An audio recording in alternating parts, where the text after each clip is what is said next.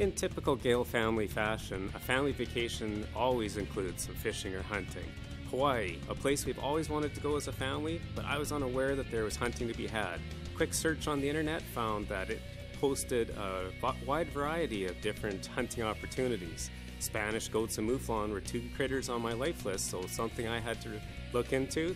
I researched some outfitters there and I quickly booked a hunt. I was allowed three days of hunting in our 10 day vacation. I've got the best wife in the world.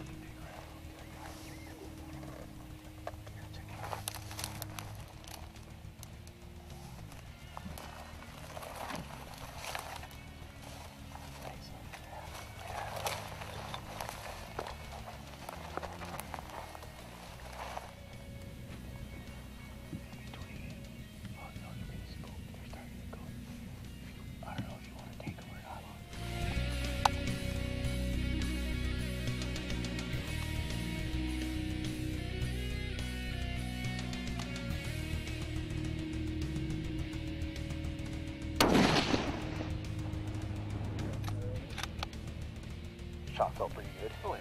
Perfect. As long as the gun's on, I it. Okay.